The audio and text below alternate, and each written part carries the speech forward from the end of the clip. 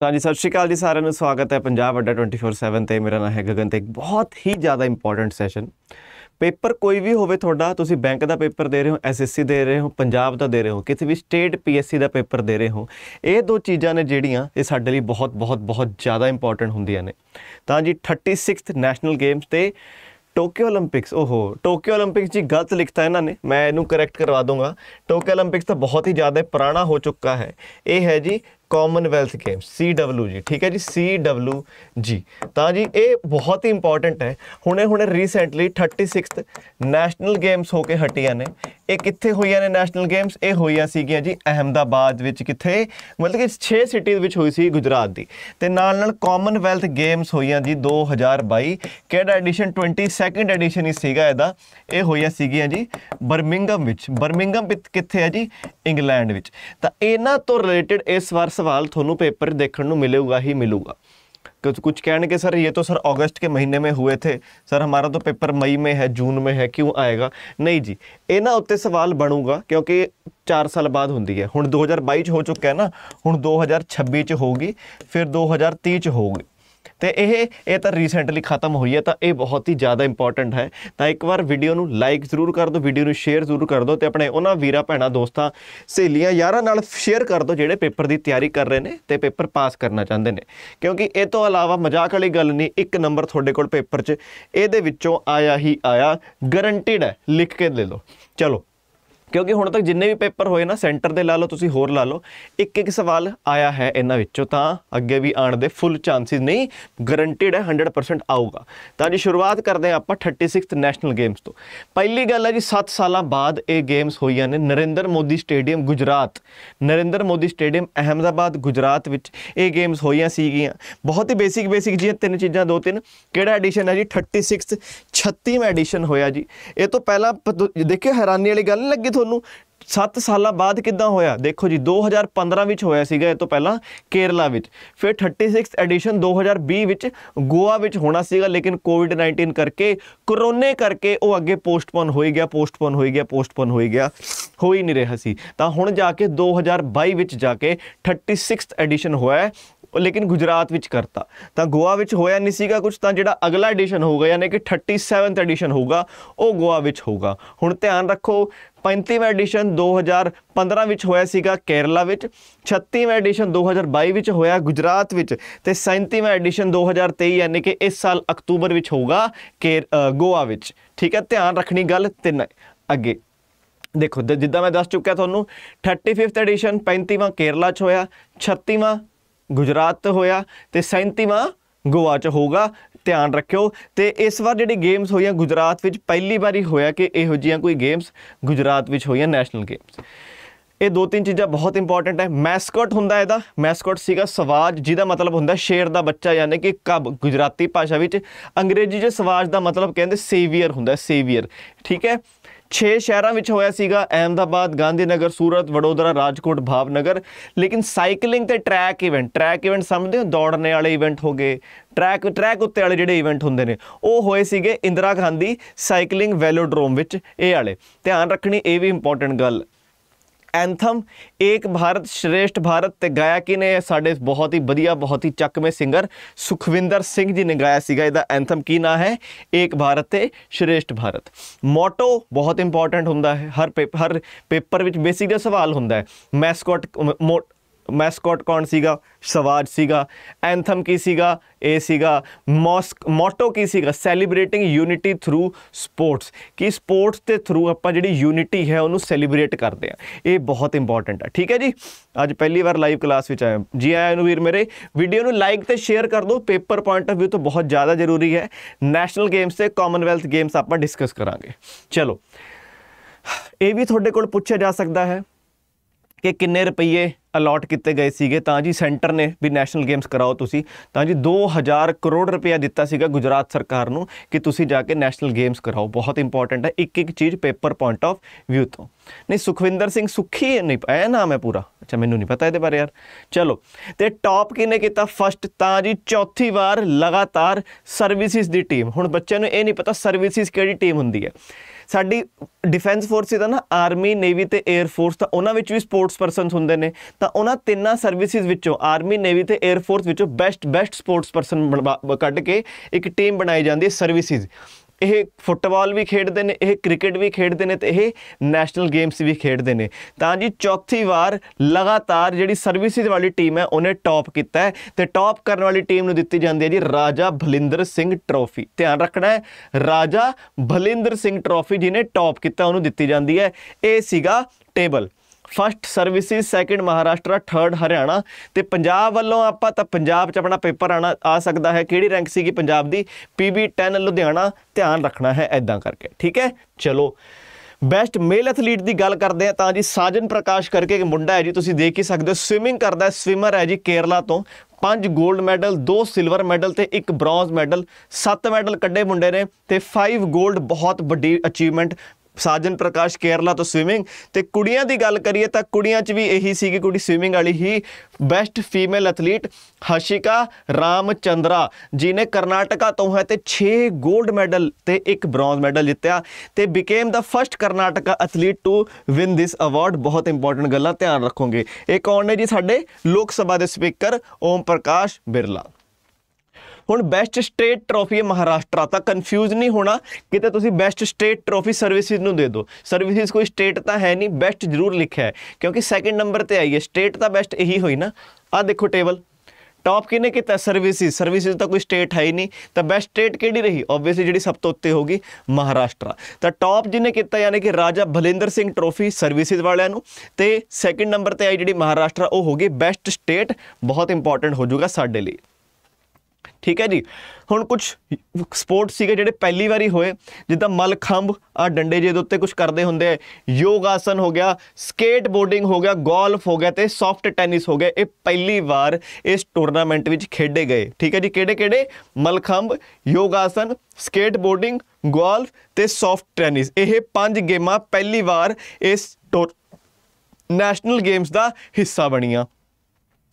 ਗੁਜਰਾਤ ਦਾ ਸ਼ੌਰਯਜੀਤ ਖੈਰੇ ਵਾਸ ਦਾ youngest ਸਭ ਤੋਂ ਛੋਟੀ ਉਮਰ ਵਾਲਾ ਤੁਹਾਡੇ ਕੋਲ ਸਵਾਲ ਆ ਸਕਦਾ ਕਿ ਵੀ ਕਿਹਨੇ ਜਿੱਤਿਆ? ਤਾਂ ਜੀ ਗੁਜਰਾਤ ਦਾ ਮੁੰਡਾ ਹੈ ਜੀ ਸ਼ੌਰਯਜੀਤ ਖੈਰੇ 10 ਸਾਲਾਂ ਦਾ ਜਿਨੇ ਇਹ ਮਲਖੰਬ ਦੇ ਵਿੱਚ ਇਹਨੇ ਬ੍ਰੌਂਜ਼ ਮੈਡਲ ਜਿੱਤਿਆ। ਬਹੁਤ ਇੰਪੋਰਟੈਂਟ ਹੋ ਜਾਊਗਾ ਪੇਪਰ ਪੁਆਇੰਟ ਆਫ View ਤੋਂ। 10 ਸਾਲ ਦਾ ਬੱਚਾ, ਇਹਨੂੰ ਅਕਲ ਕੀ ਹੋਣੀ, ਲੇਕਿਨ ਦੇਖ ਲਓ ਬੱਚਾ ਬ੍ਰੌਂਜ਼ ਮੈਡਲ ਜਿੱਤ ਗਿਆ। ਗੋਆ, ਬਿਹਾਰ ਤੇ ਸਿੱਕਿਮ, ਇਹ ਕੱਲੀਆਂ ਤਿੰਨ ਸਟੇਟਾਂ ਸੀਗੀਆਂ ਜਿਨ੍ਹਾਂ ਨੇ ਇੱਕ ਵੀ 골ਡ ਮੈਡਲ ਨਹੀਂ ਜਿੱਤਿਆ। ਠੀਕ ਹੈ, ਦੇਖ ਲਓ ਪੇਪਰ ਪੁਆਇੰਟ ਆਫ View ਤੋਂ ਸਵਾਲ ਨੇ ਸਾਰੇ। ਇੱਕ ਇੱਕ line paper point of View ਤੋਂ, ਇੱਕ ਇੱਕ line paper point of View ਤੋਂ। ਠੀਕ ਹੈ ਜੀ? ਚਲੋ। ਤੇ 7000 ਐਥਲੀਟ ਸੀਗੇ 36 ਡਿਫਰੈਂਟ ਸਪੋਰਟ ਸੀਗੇ ਤੇ 36 ਸਟੇਟਸ ਤੇ ਯੂਨੀਅਨ ਟੈਰੀਟਰੀ ਹੈ। ਯਾਨੀ ਕਿ 28 ਸਟੇਟਾਂ 8 ਯੂਨੀਅਨ ਟੈਰੀਟਰੀਆਂ ਤੇ ਇੱਕ ਸਰਵਿਸਿਜ਼ ਦੀ ਟੀਮ ਇਹਨਾਂ ਸਾਰਿਆਂ ਨੇ ਪਾਰਟਿਸਿਪੇਟ ਕੀਤਾ ਸੀਗਾ। ਤਾਂ ਇਹ ਰਿਹਾ ਜੀ ਸਵਾਲ, ਇੱਕ ਇੱਕ ਸਵਾਲ। ਪਹਿਲੀ ਵਾਰੀ ਨੈਸ਼ਨਲ ਗੇਮਸ ਕਦੋਂ ਹੋਏ? ਸਰ 1924 ਚ। ਕਿੱਥੇ ਹੋਏ? ਲਾਹੌਰ ਚ। ਲੇਕਿਨ ਉਸ ਟਾਈਮ ਇਹਨਾਂ ਨੂੰ ਕਿਹਾ ਜਾਂਦਾ ਸੀਗਾ 올 ਇੰਡੀਆ 올림픽ਸ ਗੇਮਸ ਠੀਕ ਹੈ? 올 ਇੰਡੀਆ 올림픽 ਗੇਮ ਫਿਰ ਇਹਨੂੰ ਨੈਸ਼ਨਲ ਗੇਮਸ ਕਦੋਂ ਤੋਂ ਕਹਿਣਾ ਸ਼ੁਰੂ ਕੀਤਾ ਸਰ 1940 ਤੋਂ ਜਦੋਂ ਇਹ ਬੰਬੇ ਵਿੱਚ ਖੇਡੇ ਗਏ ਫਿਰ 1948 ਜਿਹੜਾ ਕਿ ਪਹਿਲਾ ਐਡੀਸ਼ਨ ਸੀਗਾ ਇੰਡੀਪੈਂਡੈਂਸ ਤੋਂ ਬਾਅਦ ਹੋਇਆ ਜਿਹੜਾ ਕਿੱਥੇ ਹੋਇਆ ਲਖਨਊ ਵਿੱਚ ਹੋਇਆ ਫਿਰ ਜਿਹੜਾ 26th ਐਡੀਸ਼ਨ ਸੀਗਾ ਜਦੋਂ 1985 ਵਿੱਚ ਹੋਇਆ ਇਹ ਪਹਿਲਾ 올림픽 ਸਟਾਈਲ ਗੇਮ ਸੀਗਾ ਜਿੱਦਾਂ ਕਿ ਹੁਣ ਹੋਇਆ ਨਾ ਹਰ ਤਰ੍ਹਾਂ ਦੀ ਗੇਮਾਂ ਰੱਖਤੀਆਂ ਟੀਮਾਂ ਰੱਖਤੀਆਂ ਉਹ ਪਹਿਲਾਂ ਐਂ ਖੇਡਦੇ ਹੁੰਦੇ ਸੀ ਜਿਹੜਾ ਮਨ ਕੀਤਾ ਤੇ 1990 ਗੇਮ ਦੀ ਪਹਿਲੀ ਵਾਰ ਹੋਇਆ ਜਿਹੜਾ ਨਾਰਥ ਈਸਟ ਜਦੋਂ ਇੰਫਾਲ ਵਿੱਚ ਹੋਇਆ ਮਣੀਪੁਰ ਵਿੱਚ ਹੋਈਆਂ ਇਹ ਨੈਸ਼ਨਲ ਗੇਮਸ ਬਹੁਤ ਇੰਪੋਰਟੈਂਟ ਗੱਲ ਧਿਆਨ ਰੱਖਿਓ, ਠੀਕ ਹੈ ਜੀ? ਇੱਕ ਇੱਕ ਪੁਆਇੰਟ ਇੱਕ ਇੱਕ ਸਵਾਲ ਹੈ ਆਪਣੇ ਲਈ। ਹੁਣ ਆਪਾਂ ਡਿਸਕਸ ਕਰਾਂਗੇ ਜੀ, ਜਿਹੜੇ ਹੋਏ ਸੀਗੇ ਕਾਮਨਵੈਲਥ ਗੇਮਸ ਧਿਆਨ ਰੱਖਣਾ ਸ਼ੁਰੂਆਤ ਤੋਂ ਹੀ ਸਵਾਲ, ਕਿੱਥੇ ਹੋਏ? ਬਰਮਿੰਗਮ ਵਿੱਚ ਹੋਏ, ਕਿਹੜਾ ਐਡੀਸ਼ਨ 22 ਇਹ ਤਾਂ ਸੌਖੀ ਚੀਜ਼ ਹੀ ਹੈ ਨਹੀਂ। 2022 ਵਿੱਚ ਹੋਇਆ ਤੇ 22ਵਾਂ ਐਡੀਸ਼ਨ ਹੋਇਆ। ਹੁਣ ਅੱਗੇ ਕਦੋਂ, ਕਿੱਥੇ ਕਿੱਥੇ ਹੋਣਗੇ? ਆ ਵੇਖੋ ਜੀ 23ਵਾਂ ਐਡੀਸ਼ਨ ਹੋ ਰਿਹਾ ਜੀ ਵਿਕਟੋਰੀਆ 'ਚ। ਵਿਕਟੋਰੀਆ ਮਤਲਬ ਕਿ ਆਸਟ੍ਰੇਲੀਆ ਦੀ ਗੱਲ ਹੋ ਰਹੀ ਹੈ। 23rd ਐਡੀਸ਼ਨ ਵਿਕਟੋਰੀਆ 'ਚ ਹੋ ਰਿਹਾ ਹੈ ਜੀ। ਚਲੋ ਜੀ। ਟੇਬਲ ਦੀ ਆਪਾਂ ਗੱਲ ਕਰਦੇ, ਸਿੱਧਾ ਪੁਆਇੰਟ ਤੇ ਆਣਾ ਜੀ। ਤਾਂ ਟੌਪ ਕੀਤਾ ਆਸਟ੍ਰੇਲੀਆ, ਇੰਗਲੈਂਡ, ਕੈਨੇਡਾ ਤੇ ਇੰਡੀਆ ਨੇ। ਤੁਹਾਡੇ ਵਿੱਚੋਂ ਕਿਸੇ ਨੂੰ ਆਈਡੀਆ ਹੈ ਕਿ 2018 ਵਿੱਚ ਭਾਰਤ ਕਿਹੜੀ ਰੈਂਕ ਤੇ ਸੀਗਾ? ਇਸ ਵਾਰ ਤਾਂ ਫੋਰਥ ਰੈਂਕ ਤੇ ਆਪਾਂ। 2018 ਵਿੱਚ ਭਾਰਤ ਕਿਹੜੀ ਰੈਂਕ ਤੇ ਸੀਗਾ? ਕਿਸੇ ਨੂੰ ਆਈਡੀਆ ਇਸ ਬਾਰੇ? 2018 ਵਿੱਚ ਭਾਰਤ ਕਿਹੜੀ ਰੈਂਕ ਤੇ ਸੀਗਾ? ਤਾਂ ਜੀ ਪਿਛਲੀ ਵਾਰ ਆਪਾਂ ਸੀਗੇ 3rd ਰੈਂਕ ਤੇ, ਇਹ ਵੀ ਗੱਲ ਧਿਆਨ ਰੱਖਿਓ। ਆਜੋ। ਤਾਂ ਲਾਸਟ ਕੋਈ ਕੰਟਰੀ ਆਈ ਹੈ ਤਾਂ ਇਹ ਚਾਰ ਕੰਟਰੀ ਆਈਆਂ, ਇਹਨਾਂ ਨੇ ਬ੍ਰੌਂਜ਼ ਮੈਡਲ ਜਿੱਤਿਆ ਹੈ ਇੱਕ ਇੱਕ ਬਾਕੀ ਬਹੁਤ ਸਾਰੀ ਕੰਟਰੀਆਂ ਨੇ ਜਿਨ੍ਹਾਂ ਕੁਝ ਵੀ ਨਹੀਂ ਜਿੱਤਿਆ। ਲੇਕਿਨ ਇਹ ਸਾਰੀਆਂ ਕੰਟਰੀਆਂ ਨੇ ਜਿਨ੍ਹਾਂ ਨੇ ਇੱਕ ਇੱਕ ਮੈਡਲ ਜਿੱਤਿਆ ਯਾਨੀ ਕਿ 40th ਰੈਂਕ ਆਈ ਹੈ ਲਾਸਟ ਭਾਰਤ ਦੀ ਆਪਾਂ ਗੱਲ ਕਰੀਏ ਤਾਂ ਭਾਰਤ ਕੋਲ ਦੇਖੋ ਜੀ 22 골ਡ medal 16 silver medal 23 bronze medal ਤੇ ਟੋਟਲ ਸੀਗੇ ਸਾਡੇ ਕੋਲ 61 ਮੈਡਲ ਹੁਣ ਤੁਹਾਡੇ ਕੋਲ ਇੱਕ ਸਵਾਲ ਬੜ ਸਕਦਾ ਕਿ ਸਭ ਤੋਂ ਜ਼ਿਆਦਾ 골ਡ ਮੈਡਲ ਕਿਹੜੇ ਸਪੋਰਟ ਵਿੱਚ ਆਏ? ਤਾਂ ਧਿਆਨ ਰੱਖਣਾ ਜੀ ਸਭ ਤੋਂ ਜ਼ਿਆਦਾ 골ਡ ਮੈਡਲ ਸਾਡੇ ਰੈਸਲਿੰਗ ਵਿੱਚ ਆਏ। ਰੈਸਲਿੰਗ ਵਿੱਚ ਹੈ ਠੀਕ ਹੈ? ਤੇ ਤੁਹਾਡੇ ਕੋਲ ਇੱਕ ਸਵਾਲ ਆ ਸਕਦਾ ਕਿ ਟੋਟਲ ਮੈਡਲ ਸਾਡੇ ਸਭ ਤੋਂ ਜ਼ਿਆਦਾ ਕਿਹਦੇ ਵਿੱਚ ਆਏ? ਤਾਂ ਉਹ ਵੀ ਸਾਡੇ ਟੋਟਲ ਮੈਡਲ ਸਭ ਤੋਂ ਜ਼ਿਆਦਾ ਰੈਸਲਿੰਗ ਵਿੱਚ ਆਏ। ਰੈਸਲਿੰਗ ਵਿੱਚ ਆਪਾਂ ਸ਼ਾਇਰ ਰਹੇ। ਠੀਕ ਹੈ ਆ ਦੇਖੋ ਜਿੱਦਾਂ ਮੈਂ ਕਿਹਾ, ਪਿਛਲੀ ਵਾਰ ਭਾਰਤ ਦੀ ਰੈਂਕ ਸੀਗੀ 3rd ਇਸ ਵਾਰ ਭਾਰਤ ਦੀ ਰੈਂਕ ਆਈ ਹੈ ਚੌਥੀ। ਪਿਛਲੀ ਵਾਰ 3rd ਇਸ ਕਰਕੇ ਸੀ ਕਿਉਂਕਿ ਇਸ ਪਿਛਲੀ ਵਾਰ ਸ਼ੂਟਿੰਗ ਵੀ ਸੀਗੀ। ਲੇਕਿਨ ਇਸ ਵਾਰ ਇਹਨਾਂ ਨੇ ਸ਼ੂਟਿੰਗ ਬਾਹਰ ਕੱਢਤੀ ਸ਼ੂਟਿੰਗ ਨਹੀਂ ਸੀਗੀ, ਤਾਂ ਕਰਕੇ ਸਾਡੀ 4th ਰੈਂਕ ਆਈ ਹੈ।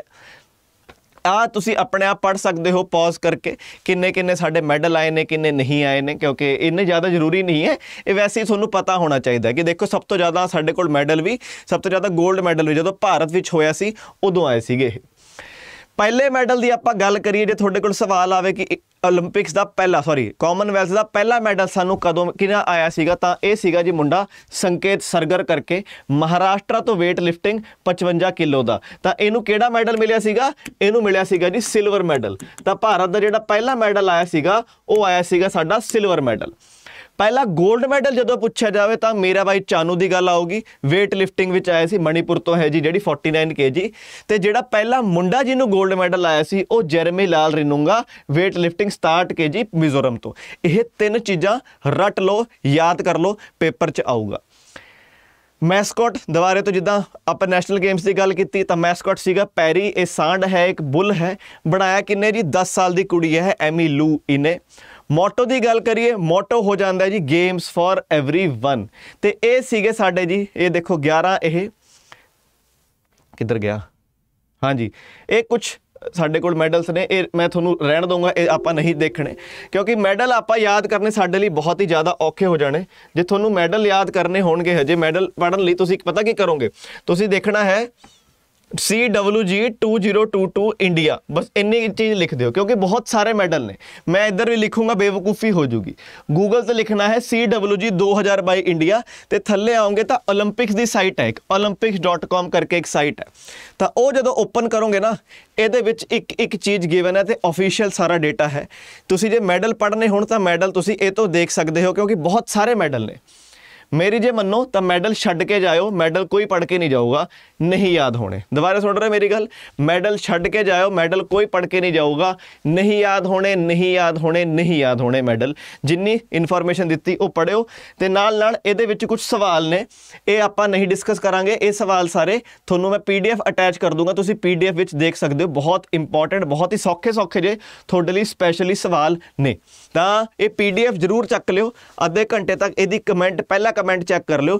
ਕੁਐਸਚਨ ਆਨਸਰ ਵੀ ਨੇ ਤੁਹਾਡੀ ਪ੍ਰੈਕਟਿਸ ਲਈ। ਤੇ ਜਾਂਦੇ ਜਾਂਦੇ ਇੱਕ ਚੀਜ਼ ਦੱਸਣਾ ਚਾਹੂੰਗਾ, ਅੱਜ ਦਾ ਦਿਨ 21 ਫਰਵਰੀ ਪਟਵਾਰੀ ਦੀ ਕਲਾਸਿਸ ਸਟਾਰਟ ਨੇ। ਜਿਨੇ ਵੀ ਐਨਰੋਲ ਕਰਨਾ ਹੋਵੇ ਤਾਂ Y383 ਡਿਸਕਾਊਂਟ ਕੋਡ ਲਾ ਕੇ ਕਰ ਸਕਦਾ ਹੈ ਤੇ 1840 ਦਾ ਤੁਹਾਨੂੰ ਇਹ ਬੈਚ ਪੈ ਜਾਂਦਾ ਹੈ। ਤੁਹਾਨੂੰ ਪਤਾ ਹੈ ਜੀ 710 ਪੋਸਟਾਂ ਦੀ ਨੋਟੀਫਿਕੇਸ਼ਨ ਤਾਂ ਆਈ ਚੁੱਕੀ ਹੈ ਪਟਵਾਰੀ ਦੀ, ਬਸ ਜਿਹੜਾ ਡਿਟੇਲਡ ਇਸ਼ਤਿਹਾਰ ਆਣਾ ਬਾਕੀ ਹੈ।